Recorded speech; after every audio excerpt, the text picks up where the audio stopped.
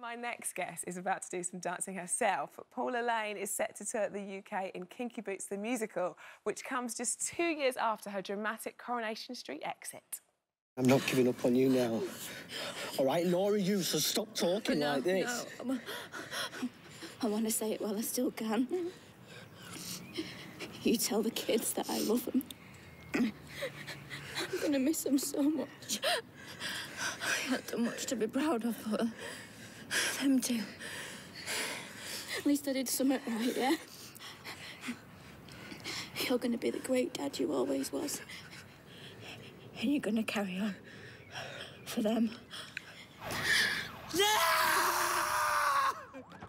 Ah, and Paula Lane joins me now. That's, that was quite hard for you to watch yeah, there. I can see you getting emotional. It is, it is, it is emotional to watch. You know, I still hold it really close to my heart. Of course. Get the tissues out every time I see clips of it. That was, honestly, that was such a huge storyline. Everyone was gripped. Did you have to sort of mourn Kylie after you left Coronation Street? Because it, it must be I mean, I'm not an actress, but you must become so close to the character. That's it, and the cast. Yeah. Like, we were a proper family yeah. unit, the Platts, you know, me, Jack, Helen, Ben, Lucy, mm. uh, Tina O'Brien. So I really felt like I had lost my family for a little you know, a little it's bit. mad, isn't it? Yeah. It's mental. Uh, you said you said that you know you you sort of knew your time was up at Corrie. You, you your heart wasn't in it as much towards the end. I think it was just a natural progression for me. I'd played her for six years. Yeah. I was at a part in um, my life where I just thought I was seeing new dramas being made and yeah. going to the theatre, and I thought, oh, do you know what? I really just want to try, try other things. It, that's so natural. It's so nice that you say that. Yeah, it's, brave. It's yeah, yeah. No, it's brave, but it's, it's, a natural thing. That's life, isn't it? It's totally life. Uh, Corrie fans can be quite hardcore. I'm one myself, and I know that if if I saw Pat Phelan in the street, I'm not sure how I would feel about it to be honest. Uh, did you did you find that hard to deal with if your character was going through some sort of tricky storylines? Would people be quite opinionated to you if they if they saw you about? Um, I never really had. Um, a tricky time with that. I made a conscious decision from the off to make her very different to me. Yeah. So if I was ever like in the supermarket, I'd put like my glasses on and a hat right. just to kind of okay. yeah just have an easier life of it, yeah, really. Totally, but um, totally. people, yeah, they would be quite passionate about yeah. it, but rightly so. I mean, you're in their living rooms. Of what course. is it, six days a week now? Yeah, you're, you're so invested. You really are. Yeah. Can it feel like, obviously, playing a character for so long, can it feel like you lose your own identity a little bit? The lines do get blurred a bit, I have to say. Mm. And I always used to think if I put on one of her uh, outfits that I liked, I thought, actually, this is wrong. No I wanted way. to feel really opposite to her, Yeah. so I always used to get them to put like really smudgy makeup on me, clumpy mascara, you know, Yes. like kind of really slicked back hair that I hate on myself. Right, so yeah, that's, that's a Um, really good idea. I suppose you have to to feel completely different when you are just being you. But it is tricky because when you are playing, you know, that part Mm-hmm. constantly, Yes. it is, you know, sometimes they do merge a little bit. Of course. Now, um, I know that, you, like you said, it was like losing a family because you're close, so close to all the cast.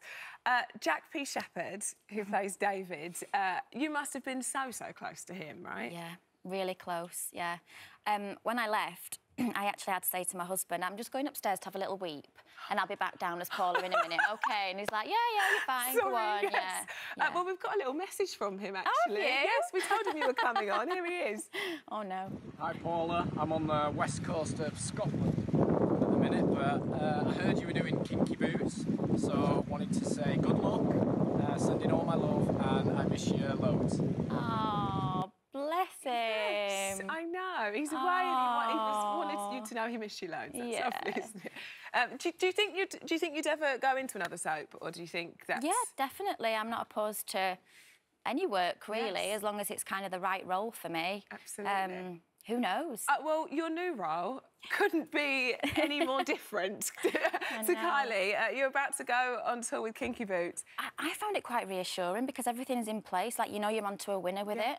Yeah. Um, you know, Yeah. that the lines are set. So as long as I just kind of do my job right and do as I'm told. Absolutely. you're okay. Yeah. Uh, you've got your own number I do. musical. History of Wrong Guys. A- And, what's it like singing? Because obviously we know you for acting. Yeah. But is, is that is that always been a big part of your life? Um, Not really, and I made a joke with the director. I said, since I had my children, that's when my singing voice came out a lot more. Oh, you I'm not have sure to Three Little Ducks really, rhymes. you know, Yeah. prepares you for musical theatre. But, um, but yeah, but the, the great thing about Lauren, the character I play in Kinky Boots, is she's very, very quirky.